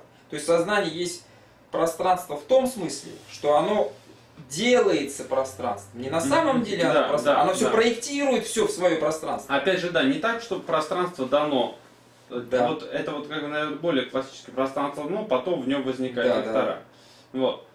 Оно как бы Оно все проектирует, оно все делает в одном пространстве, и поэтому мы на самом деле себя сшиваем. Оно все возможные акты проектирует в одно пространство и показывает, что это все происходит в одном пространстве. Например, есть восп- это, постоянная генерация восприятия. Но оно в этой генерации восприятия дает еще, объединяет его, допустим, с другой генерацией, допустим, с генерацией там, речи, с генерацией письма, с генерацией там, как- каких-то движений в этом пространстве, восприятия. Оно Видимо, сознание это то общее поле, где вот это вот все многообразие генераций объединяется. Не то, что она заранее есть. Она просто, это способ, каким мы все многообразие нашей жизни объединяем в неком едином поле. И вот в этом едином поле, как бы вот это я уже может объединить все возможности. Оно может что-то делать. Оно может как бы управлять. Какие части надо что куда передвинуть, как мышление. Тут, вот, например, идет генерация мышления. Как это мышление можно использовать, чтобы, допустим, что-то сделать с восприятием, то, что видно что, что дано, что не дано. Как бы. Вот иначе говоря, как, как шахматная игра. Вот Тут постоянно идет генерация, как бы. Вся эта генерация объединяется в неком едином поле. Да, и вот в этом едином поле уже можно фигурки двигать. Какие-то фигурки с доски выбрасывать. Типа это генерация, например, генерация идет, допустим, что там Мгм. надо куда-то бежать, там с какими-то женщинами общаться. Нет, общаться будем потом. Там, типа, генерация идет, что надо покушать. Нет, кушать это пока не время. Там. Ну Там даже будет- Кант как-то всплывает со своим пространством. Как форма. Ну не совсем, конечно. Не, Вот. ну это Ну что как бы это слово наше. же, слово же пространство, Ну, это понятно. чтобы пояснить, Ну да, да. насколько оно является буквально кон- это, Ну в этом конфигурационное ну, пространство. фор- какое-то. формирующая деятельность здесь выступает как бы. Мы говорим, ну, структурирующая, там, структурирующая. Нет, ну в некотором смысле оно же Да. накладывается вот на это пространство, Да. которое перед нами. Но все же мы же накладываем. Вот, допустим, я вижу предмет, я, а сам на самом деле веду какую-то речь. Вот передо мной многообразие там чего-то. Я же на него внимания не обращаю. Я раз что-то выбрал, а это многообразие никуда не девается, я просто раз его задвинул куда-то за скобки, выдвинул, Мгм. И у меня есть главная моя деятельность, допустим, говорить, да, и думать. Я А, выбрал вот, ее. кстати, кстати, да, кстати, видишь, тут вот это, помнишь, я там поднимал эту феноменологическую тему различия предмета и фона. Да. Вот. Что тоже как бы, что не просто там вот, так сказать, один акт восприятия предмета, второй, третий, и как бы вот непонятно, как между ними переход, непонятно, так сказать, как они сменяются, а что есть как бы, всегда есть как бы какая-то целокупность, что-то дано пассивным образом, вот этот фон, как бы, что-то активным, да, как как возможность, потенция. да, да, вот. И все как бы одно в контексте другого проистекает. И вот мы действительно, если в этом разговоре, э, так сказать, говорить, мы вот у нас есть вот эти вот, так сказать, какие-то активности, мы как бы даем там слово одной, как-то ее стимулируем, вот остальные как бы выступают все время как некий фон. И причем Вот так. тот фон, к которому в любой момент ты можешь Вот, перейти. Да, хор таких Раз и перешел к елке. хор раз голосов. и перешел. Это как бы солист, понимаешь, солист, а это хор там. Вот можно сказать так, как бы встань в хор, этот выйдет солист. И в связи с этим очень важно понятие внимания. Я уже понял. Да, да, да. Потому внимание. что вот внимание, я думал, долго думал, что это такое, как и понял. И мне кажется, что внимание это переживание. Вот то, когда я говорю, что ты чему-то даешь силу, да? Мгм. Ты обращаешь на что-то внимание. Вот, допустим, я говорю и считаю, что это главное. Подавляю все остальные. Вот это вот внимание. Вот Мгм. давать внимание, почему мы устаем на самом деле? Вот именно, ведь на самом деле как бы вот есть акты какие-то, например, восприятие внешнего мира. Я даже не чувствую, устаю я, не устаю. Ну, открыты глаза там. Я не вижу никакой здесь усталости. А вот когда я говорю, допустим, и даю чему-то внимание, да, концентрируюсь на чем-то, когда я концентрируюсь на говорении, я и устаю ведь не от говорения, а от концентрации на этом. Да, да. Вот, вот эта вот концентрация, это наше, видимо. Причем, ведь можно... это, видимо, пере- некое переживание, здесь- знаешь, да, вот такое, да, которое да, вот да, да. бегает. Причем, нет, причем заметь, что как бы, э, если бы было все просто, ну вот из, из, из вот этой вот структуры предмет-фон, можно было бы представить себе все просто, что вот есть какой-то прожектор, да, там, или, не знаю, выхватывающий, он сам по себе есть, он не требует усилия, да, мы как бы можем его перемещать, но всегда внимание где-то есть. Вот оно здесь, потом оно там, потом оно там. Но на самом-то деле оно может быть здесь, но мы можем его еще сконцентрировать. Не просто там смотреть за какую-то деталь, а все на том же, еще более внимательно. Ну, то есть, я не Можно знаю, то есть, вплоть до того, что вот прям Да. вот так вот начать Да, разглядывать. да. Заставить организм приблизиться. Все, да, все сгустить в Ну, то одно. есть важно, что как бы действительно мы можем напрягать, как бы, да, вот эту интенцию. Потому что вот об этом в феноменологии я нигде не, видел и не слышал. Роговицын же любит говорить, что сознание должно как бы усилие сознания. Усилия, да. Усилие. Да, А ведь усилие, оно Ну, есть как усилие внимания. да, да, да, потому что вот там, что у Гусарля, там, ну, я не видел, чтобы там было какое-то усилие, да. По крайней мере, оно там не обязательно, вот что, как бы, в той структуре оно не обязательно. Все может как бы само собой проистекать. То есть, может быть усилие по перемещению внимания, да, но как бы внимание, как intentional, in- intentional, да, вот это, оно как бы есть всегда. Но оно, конечно, есть всегда, да, но мера-то у него действительно Нет, на самом деле, разная. ну, во-первых, мера разная, во-вторых, есть сон. Есть сон, да. Когда мы засыпаем, и внимание как бы отдыхает. условно говоря. Оно может там проснуться, можно вас не Но проснуться. опять же, как бы есть вот это вот наше крайнее, про которую как бы феноменологический опыт вот это вот э, прострации, да, вот это вот ничтожение мира, когда мы как бы, когда весь мир мы превращаем в фон, мы как бы весь его туда в фон выводим, и как бы наше внимание обращено ну, ни на что не обращено. Оно, если невозможно обратить на существование, как бы, но вот, вот оно обращается на существование. Просто как бы мы не внимаем. Вот вопрос с вниманием, казалось бы, это психологическая категория, но на самом деле, если посмотреть, она уже постоянно всплывает в классической философии. Не, ну, Постоянно. Понимаешь, если, если это просто психологическая, Ты психо- посмотри, психологическая вещь, тогда как бы помнишь, э- э- этика жутко Вторая часть феноменологии духа, вторая часть, Да. где как бы субъект, он где-то, вот я вижу дерево, а поворачиваюсь, а там вижу там, Да. допустим, это там что-то другое. Как бы вот это что такое поворачиваюсь? Откуда это взялось-то? Как мы всегда возмущались. Ну как это так? Мы тут о чувстве разговариваем, кто-то там поворачивается. Что это такое? Ну да. На самом деле получается, что оно ведь это нечто такое, что с самого начала есть. Да. Ну и я что хотел добавить, что если бы внимание было чисто психологическими вещами, да, чисто психологическими вещами, тогда и вся этика была бы чисто психологической вещью. Потому что помнишь, мы как бы, когда про этику говорили, вот я, по крайней мере, настаивал на том, что как бы внимательность, да, ну, Это вот внимание, важно, это да. как бы может быть просто даже главная добродетель, Да. из которой проистекает все. Да. Да, именно так, да. А если это чистый психологизм, как бы, да, то о, о- о какой как бы философской этике можно говорить? Ну, люди, будьте внимательны, да, вот так вот. Причем внимательность, сам слово такое, есть предусмотрительность, которое Да, да. подразумевает внимательность. Мгм. Ну, очень много тут э, таких слов близких к этому. С понятием, что ты вот должен не просто как бы действовать, а бы как, да, там как-то согласно Мгм. принципу, а именно понимать, в чем состоит конкретность ситуации и действовать из конкретности. Ну, как бы, который, много слов, которые говорят, что э, недостаточно просто посмотреть, да, надо всматриваться. Вот как бы они говорят. Недостаточно просто, так сказать, вот блуждать этим прожектором. Так а что, говорить о книге, ведь на самом деле, чтобы научиться сосредотачивать свое внимание на книге, умудряться читать слова, это, э, их сцеплять и пытаться понять, о чем идет речь, да, это же целая процедура, это нужно буквально долго учиться. Недаром Многие так и не.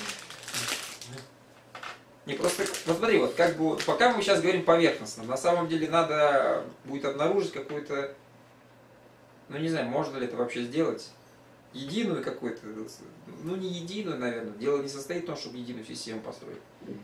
А вот как бы у всего найти как бы корни. Хочется немножко строгости, да? Да, да, да. У всего найти корни. Вот мы говорим про внимание, пытаемся Мгм. отнести его к одному субъекту, там, мышление к другому, вот, например, там. Надо вот как-то вот так разобраться с каждым впечатлением, с каждым чувством. Понимаешь, что пытаться понять, как вот это все склеивается, потом единый мир. То, что вот, вот есть некий единство мира, да, как бы. Вот надо понять, на самом деле, у него источники, как он, как это все склеивается, как это все работает. На самом деле, вот чисто как бы философской, феноменологической точки зрения, да, уже то, что мы говорим, что есть не, не, не один, не одна активность или одна интенция, а одновременно несколько, это уже куда более сильное построение, чем вот того же Гусселя. То есть у него есть как бы интенция на предмет и фон.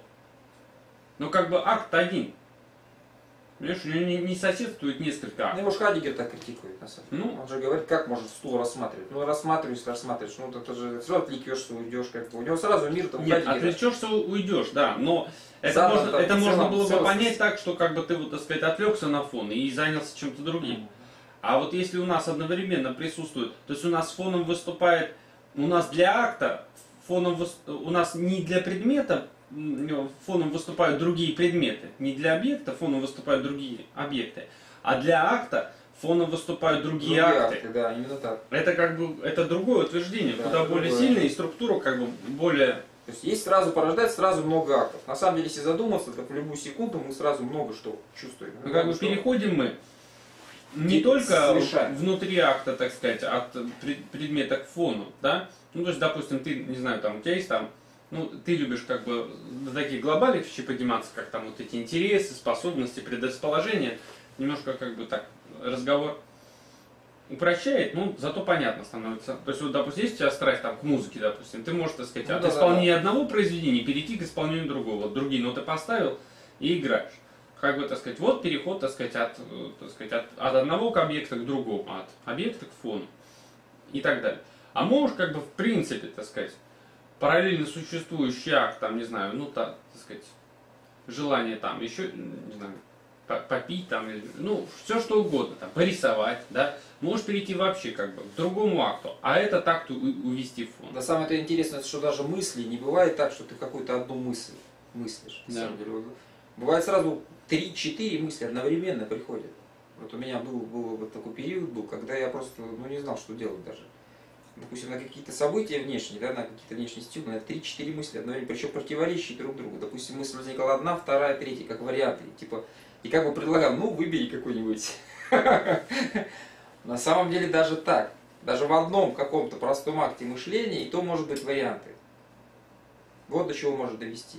Или, допустим, если ты стихотворение сочиняешь, у тебя может быть рифмы сразу несколько возникнет. Одна, вторая, третья. Я не знаю, что одновременно, не одновременно, это несущественно. Сам факт состоит, что постоянно вот это вот есть Ну, они одновременно могут удерживаться, вот что интересно. Одновременно как бы могут сосуществовать вот эти акты. Да, Одновременно, вот именно что самое интересное, что они существуют одновременно, три мысли существуют одновременно. Хорошо, если эти три мысли, одна сходить э, попить, другая там, допустим, это отдохнуть, а третья там держаться и говорить. Ну, допустим, это разного, разной природы. Про Да? игру еще. Там, поиграть на компьютере там, или там еще что-то сделать. Там, Ну, следить не таймер. там, следить за тем, записывается таймер. ли на камеру, там, или правильно ли здесь. Да, с- достаточно ли тщеславие удовлетвориться ли? Картинкой потом. Да. Ну, А можно ведь на самом деле в одном простом мышлении, то есть казалось бы, вот ты полностью сосредоточен на мышлении, у тебя возникает сразу несколько вариантов. Может быть, так всплывает. Причем я, например, как, как я же понимаю, что почему я говорю, что мышление есть акты. Потому что я наблюдаю, как оно происходит. Я им не властен. Я сообщаю себе что-нибудь, ставлю себе вопрос. Почему, кстати, важно вопрошание? Потому что что такое мышление? Мы мышлением, это мышление это некая как бы вот функция отвечающая. Я оставлю себе вопрос, и потом просто сижу и слушаю, что как бы из глубины Ставишь подается. вопрос мышлению. Да, я ставлю вопрос себе, как к субъекту актов, а он потом выдает что-то. И причем я вижу, как вот мысли поднимаются с глубины какие-то. Я словами не могу понять, что это такое, но я уже понимаю, куда он, о чем он хочет сказать. Он еще не дошел до меня, слов- слова еще не облегся. Но я уже понимаю, о чем я такой. Я знаешь, как бывает, веду себя. Я что-то спрошу себя, постою, да не. Еще ничего не пришло, я уже понимаю, что там что-то всплыло такое, говорю, не-не-не, обратно, ты туда обратно, да, погружайся. Или бывает, оба, неужели это так? И начинай под- под- подбирать слова, чтобы это могло, как бы в словах, как оформить это. Это так или не так? То есть вот мышление, на самом деле, если внимательно к нему обратиться, оно именно такой характер какой-то странный носит. Мысли, как бы, они приходят, когда они того хотят. И может не прийти. Я могу сколько угодно напрягать, вот я хожу, бывает, по парку гуляю, сколько угодно могу напрягаться и бесполезно. Не заставить себя, непонятно, что заставлять, что сделать-то надо, чтобы гол- головой удариться об стену, что надо сделать? Ну не мыслиться и все. Потому что, ну не выспался там, это, холодно, голодно, это ботинки мокрые, понимаешь, неудобно стоять, свет падает, машину тут ездит, люди ходят, понимаешь, ну, куча причин может быть. Почему не это, не мыслится и все. А бывает просто все это есть, и тем не менее это не мешает. Не убил сегодня никого, да? Не удовлетворил страсть Чикатило. А потом раз. А я знаешь, что могу сейчас сказать? Вот любопытно другая вещь. Я иду по Мгм. парку, темно, и сзади кто-то идет.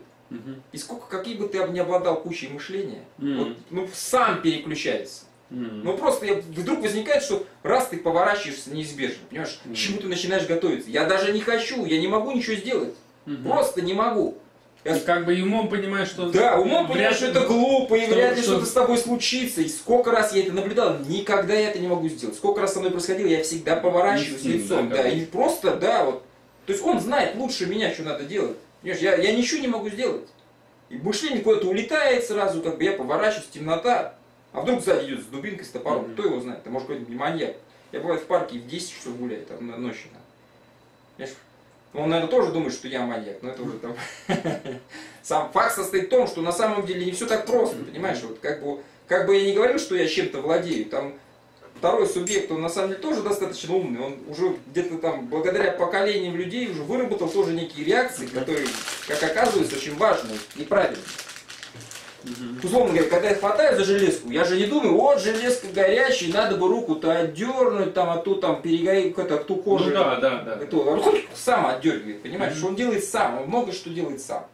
Он не, ждет, пока я додумаюсь. А то, что можно додуматься, ну там, ну, как событие, читать книгу, не читать, ну ты сам. Так не, но опять же, если как бы вернуться к этой, к, соци- э, к социуму, да, и к Богу, да, управляющему, условно говоря, или построившему ему. В идеале, как бы, да, если социум настроен, так сказать, и все на своих местах стоят, так сказать, Богу не надо дальше вмешиваться в мироустройство, Да. понимаешь? все должно само, как бы, если всех, как бы, правильно он расставил, да, и создал правильный мир, все должно само и развиться. И более того, если Бог вмешивается, это означает, что мир он кривой создал. Да. Потому что мы же можем только вот использовать эти вот Мгм. энергии. Значит, и как бы мы криво созданы. Не, ну я к тому, что ты вот, допустим, в принципе, как бы можешь один раз, да, учредить, как бы, так сказать, какую-то вот там иерархию, да, так сказать, запрограммировать, так сказать, раздать команды, вот. А потом отдать управление. а потом как бы они вот управляют, да, то есть, ну, как бы, есть инструкции, так сказать, вот, когда, так сказать, э, голод достигает определенного уровня, ты идешь есть, когда, как бы, Том-то и состоит особенно человек, что, допустим, когда голод достигает определенного уровня, кот будет биться и все положит на голод, а человек может отказаться и решить, что я умру и все. И может ждать Может. этой смерти. может, В этом как бы сила человека, что вот человек достиг такого уровня управления, что он может даже подвергнуть весь Я, я так говорю про то, что он, как бы, несмотря на всю свою свободу, большую часть времени все-таки в автоматизме работает. Да. Но, Но- этот автоматизм, он не просто как бы, а, как бы какая-то обана. Вот это да. Че полез туда? Пространство Не, увидел. на самом деле автоматизм, и слава Ну, богу. да. Что вмешиваться, как сердце работает, Так вот, ну, понимаешь? ну не только это, да. То есть ты в метро там едешь, ты еще что-то, ты ведешь машину, много чего авто- в автоматизме происходит, и не только физиологически. Да, не- ну, сам отвечаешь физиологически я людям пока не там- готов даже разговаривать, я Да, да. понимаю, что это как-то к этому Да- относится. даже как бы, даже просто в твоем там распорядке дня, еще в чем-то, так сказать, в- в- вот, вот эти субъекты, как, а, они известно, когда вот какой из них выступает. Я бывает так сказать, машину на так веду. Я до них потом как бы приеду домой там и думаю, а как я ехал там? план. Мгм. И кто управлял машиной? Мгм. Меня не было там, понимаешь, условно говоря. Иногда машину управляешь и не понимаешь, как ты ехал. Потому что, ну как, как-то все на автоматизме произошло. Ты приехал, конечно, но как-то в полусознании, условно говоря, был. Ну, был, витал в облаках где-то там. Думал о своем, там, чем-то там. То есть полусознание такое было. Просто я что хотел сказать, что есть как бы вот такая, вот в той же экзистенциальной философии тенденция, как бы вот этот э, автоматизм всячески принижать, как бы отрицать, ну то есть не звать, говорить, что это очень плохо, что это как бы зло. Как раз вот Делес и Гуатари, если ты знаешь, там это, это антиэдиктор, капитализм. что Они как раз А, за автоматическое да, письмо, да? Не, они считают, что как бы человек состоит из машин желания, вот из автоматических Ага. вещей. А субъект это как бы только. Я вчера как раз его читал, пытался Мгм. как бы разобраться. Я уже давно хочу как бы разобраться в источнике. Там это есть только эм, интересное слово-то они придумали. Не подпись, а как-то регистрация. А, регистрация? Да, регистрация и потребление удовольствия. То есть как бы А, машины не производят. потребляет, а машины работают, а он потребляет прибыль как бы. А. Прибыль это удовольствие. Понятно. Не, ну я к тому, я немножко То есть это потребитель при- это прибыли, работы машин. Ясно. А машины сами по себе работают. Причем а, самое интересное, что почему-то машины работают только, только разрушаясь. М. То есть как-то странно. То есть они, так казалось бы, вот наш организм как-то работает как машина, в каком-то Мгм. смысле, да, биологическая машина. Но почему-то они, у него машины желания, а, у него машины желания, не-не, неправильно говорю. Машины желания работают как разрушающаяся машина. То есть машины, наверное, у него обычные работают как обычные, весь человек представляет свое производство. А вот машины желания работают как разрушающиеся машины. Мгм. Ну, я-то немножко про другое хотел Причем они сказать. потребляют свои детали. То есть он разрушается и тут же его потребляют, эти детали. что это есть там, я помню, там Гурджиева какого-то читал, мистиков, да, который там говорит, что вот там в автоматизме человек проводит там кучу времени, что это все ужасно, там, вот, что нужно как бы Нет, это критика, нужно- кстати, классическая, то, что Да, ты говоришь. Это да. классическая нужно критика, что... очнуться и так далее. Да, Знаешь, вот Бердяев, что боялся спать, потому что считал, что сон это Да. микро, микро, микро да, да, да. Вот. Но на самом деле, как бы, является ли вот это вот, а, как бы вот, вот этот экзистенциальный опыт выхода из себя, да, и вот уничтожение мира, вот это вот как бы свободы, вот этой переоценки, там ценностей, как бы переструктурирования, а, является ли он как бы действительно самой э, самоцелью и с- с- самым главным. Да? То есть если как бы, допустим, мы вслед за нишей стоим на стороне жизни, вот, то дело не в том, чтобы, так сказать, э, вот там постоянно возвращаться как бы к тому, что ты существуешь. А дело в том, чтобы как бы вот этот, э, вот эти вот все субъекты, да, они как бы в какую-то структуру гармоничную были, э, как сказать, организованы, чтобы все это как бы, ну, так сказать, ну, как ты говоришь, эффективно работало. И если как бы это требует малого вмешательства, да, если все налажено хорошо, и как бы, так сказать, вот так переоценивать, как бы, там, или что-то подправлять приходится редко. Ну, как бы, ну, так и слава богу. Вот. Важен, как бы, результат. Вот. Другое дело, что тут может быть именно эта конкретика жизни, то, как- о чем мы говорили в этике, она, может быть, требует всякий раз, как бы, вот этого вот Корректировки. да. корректировки, да. То есть, может быть, можно было бы как бы вот так настроить механизм, если бы жизнь не была вот такая к- конкретна и жива. И корректировка, как бы, то есть вот эта вот воля к жизни состоит, ну, так сказать, и благословение жизни и конкретность состоит в том, что ты как бы соизмеряешься именно вот с этой, опять же, конкретикой, всякий раз как бы вот в этом оркестре как бы перераспределяя какие-то там партии там. Помнишь, проблему Сократа разбирали? И там Да. инстинкты были, там анархия инстинктов, Да, там да. Сократ. А я как бы, да, господин. Да, ну и теперь вот все- если брать нашу логику, Да, то все да. становится на И, свои и- места. и, э, удивительно, что и Ницше об этом именно и Да, писал, да, как бы, то есть да. вот именно сюда и бил, да? Да. То есть Ницше уже это как бы понимает. А мы тогда смеялись, вы надо мной смеялись. Я докладывал, о чем идет речь? Что это за глупость такая? Ну, анархия инстинктов. Ну и что? Стал, Сократ стал господином, господином над инстинктами. А что толку-то? О чем тут идет речь? А ведь на самом деле дело не важно, что тогда ну, про- проблема Сократа, она является какой-то здесь особенной. На самом деле это просто проблема наша вообще. Так устроены мы, что у нас есть инстинкты, и они могут быть в анархии. Ну, не всегда, не обязательно, но могут просто. Они могут как бы вот как ты говоришь, вот, и представить гармоническое Да. древнее человечество, Может быть- которые живут в неком Да. на лоне природы, условно говоря, в некой Может, где не надо ничего подправлять, где как бы сама природа дик- да. диктует и Нет, через- может- проводит свой волю Может, через нас. может быть, как бы вот э, критика, э, Ни- Ницше критикует Сократа за то, что он как бы вот именно Гитлер управляет И- собой. да, что он как бы, что он опять же, э, ну, ну вот как мы тогда рассуждали, жизни принцип, да, что он как бы выстраивает вот эту, ну как и все последующие, так сказать, философы и этики, пытается выстроить вот некую формальную, так сказать, вот эту систему или иерархию этих инстинктов. То есть он у него же заранее известно, там, что вот это вот высшее благо, вот это низшее, там, так далее. Вот, он пытается как бы это выстроить вне зависимости, опять же, от ситуации. Вот. а ты знаешь, что после Сократа целью как бы жизни философа была атараксия? Полная равна, равна, это невозмутимость и равнодушие. М. Так это и есть не что иное, как вот это отказ от жизни. Это полностью, когда ты отрезаешь у себя все и все.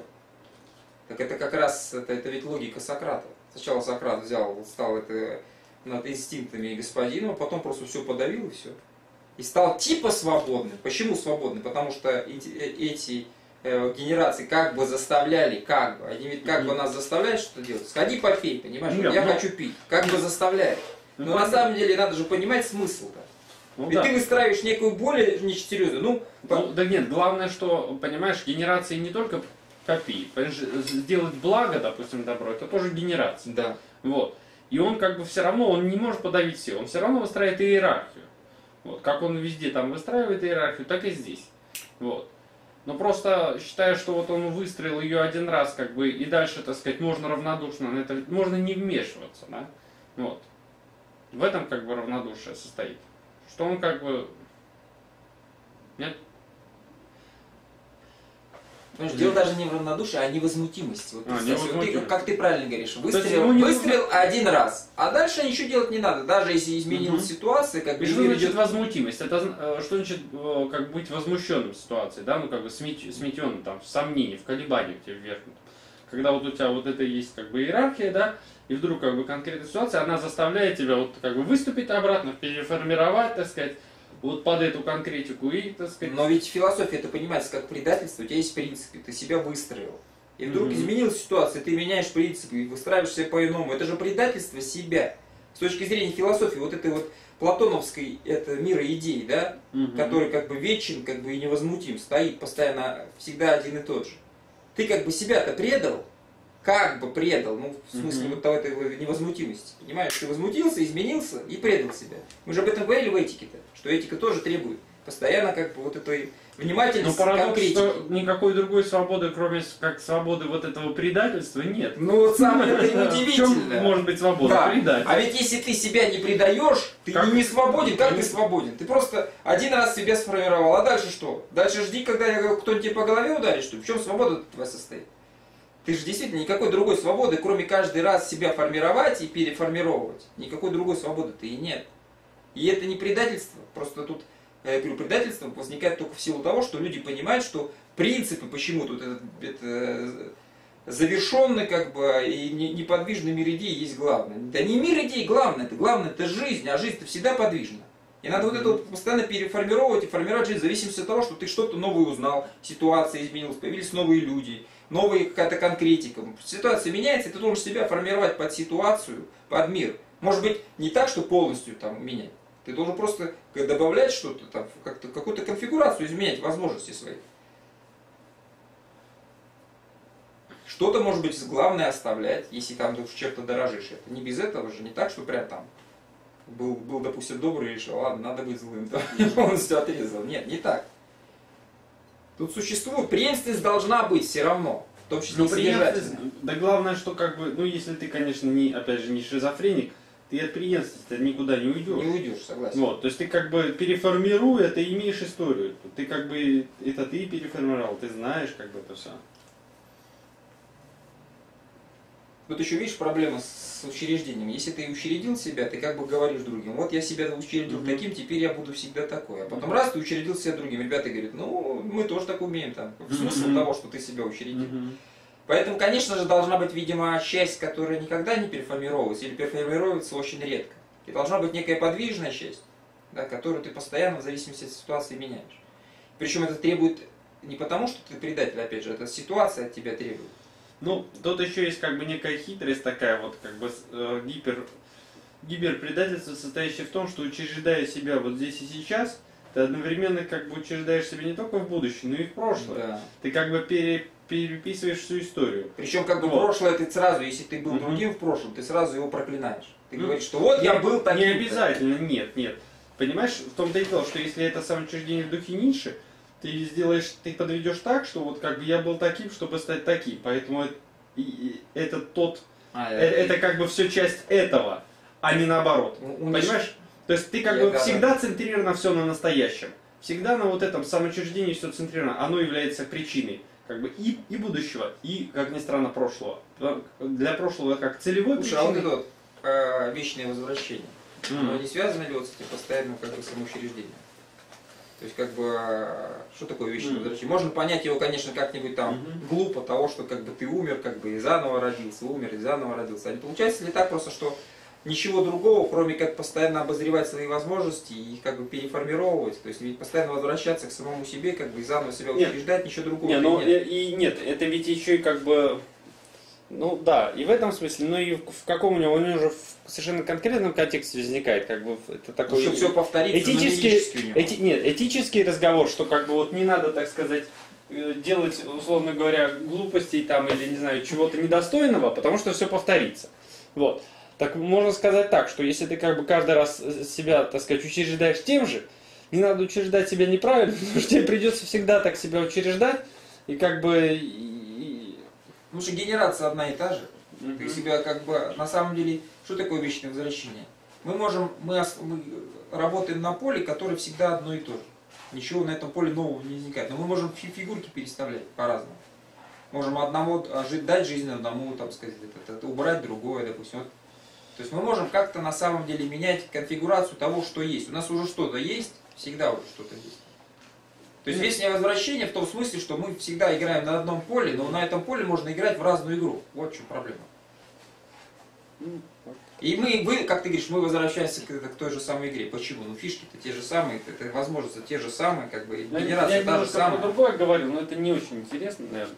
Я говорю про то, что как бы вот если ты глупо как-то себя учредил, вот, и дальше настаиваешь на как бы на как сказать, Ты на можешь вот этой... про ответственность. Ответственность На- ты, на- ты на- ответственен за каждую свою секунду, потому что в следующий раз ты ее повторишь и повторишь Да, бесконечное да, число раз. Да, если как бы ты будешь, так сказать, пытаться себя вот как бы удерживать и продлевать тем же, да, вот как вот хочет классическая философия, вот, э, то если ты хочешь не предавать себя, то как бы постарайся учредить себя пра- правильно, потому что как бы иначе ты будешь все время наблюдать вот это вечное возвращение. Ладно, это глупо. А еще самое любопытное, что вот насчет предательства. Ведь самое интересное, что мы действительно воспринимаем собственные изменения как предательство.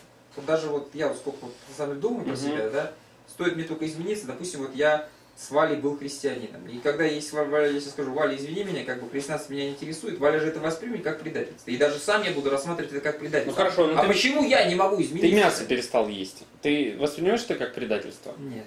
С Ну. мясом потому что, знаешь, тут еще есть какая-то же все-таки обязательств перед другими. да, Да, да. да, да. Потому что Вот я не могу бросить игру, потому что это будет предательство. в отношении Всех с кем ты Да, играешь. да. Тут есть какой-то, видишь, все-таки социальная привязанность. Потому что я могу бросить это... Знаешь, в чем предательство могло бы состоять? Если бы я, допустим, себе сказал, например, что вот я это буду делать вот это, а потом перестал это делать. И как бы вроде я предал кого-то. Кого я предал там? Как бы сам себя. Понимаешь? Вроде предал. Вот, допустим, сейчас я мясо не ем, потом вдруг скажу, да ну что такого, начну есть мясо там, понимаешь? И как бы себя предал. Как бы. Ну вот в структуре, которую это, о которой мы разговариваем, надо понимать, что это никакое не предательство на самом деле. Потому что жизнь, она как бы она первичнее вот всех вот этих наших э, учреждений. И надо в каком-то смысле понимать, что ну, давать возможность жизни быть. Вот что. Даже если это кажется внешне, что это предательство. И это, кстати, знаешь, что оправдывает? И над чем я всегда смеялся. Я всегда раздражался. Ну вот люди там сходятся, там, допустим, и отбивают, у, это, например, мужчин отбивают у других там мужчин женщин. Ну зачем это делать? Мало ли типа женщин туда и сюда, там, понимаешь? А в каком-то смысле ведь здесь есть оправдание, которое состоит в том, что при виде, может, какой-то конкретной женщины у него зародились какие-то новые генерации. Понимаешь, он просто дал этим генерациям жизнь. Жизнь этого требует. Да, да, да, да. Ситуации да, требует, да, да, были именно вместе, так, а конкретно именно так. следующий уже не требует, да? Да, да, именно так. Понимаешь, поэтому как бы говорить о том, Так что... они все оправдываются, да. Я понимаю. Просто в этом смысле в каком-то оправдан. Даже такие вещи. Но они, в общем, как бы, может, и правду говорят, что Не, ну это, понимаешь, я всегда держусь на той позиции, что Ведь главное нам... жизнь, она правее, чем любая философия. Значит, все вот эти морализаторства о том, что не надо женщин отбивать, там, понимаешь? Не, ну тут, знаешь что, тут опять же, как бы, может быть, не надо быть, как бы, предельными ницшанцами. Может быть, все не происходит так, что вот есть, как бы, жизнь, она правее всегда, а есть глупые принципы. Может быть, есть вот именно какая-то, вот, так Ну, сказать, да. опять же, игра, да, между ними, С этим понимаешь? надо согласиться. То есть, да. что, что как бы вот это э, проблематично. Если бы было все просто, жизнь и все, ну как бы, ну иди на поводу у жизни. Но есть напряжение. Вот это напряжение как бы порождает вот Даже у, человеческую самого, даже у историю. самого Ницше все не так просто, не только жизнь. Мгм. Он же хочет на самом деле учредить какую-то новую жизнь, да, как бы так. Мгм. То есть он на самом деле хочет куда-то ее двинуть. Может, там, вот, например, в Заратустре пишут, что на самом деле человек есть только переход, да. То есть, Так бы, казалось бы, да, удовлетворялся. есть бы как бы надо двигаться к сверхчеловеку. Ну что, так если бы была бы Откуда жизнь... возникает это надо? Надо Да, всегда да. возникает как бы из долженствования долженство? какого-то, Конечно, да. конечно. То есть на самом деле все-таки цель есть всегда. И поэтому такой простой формулы, что надо довериться жизни и просто плыть по течению, такой формулы, эта формула, конечно, это слишком упрощенно. А вот, так сказать, этот человек говорил. Скажи что-нибудь. Спасибо.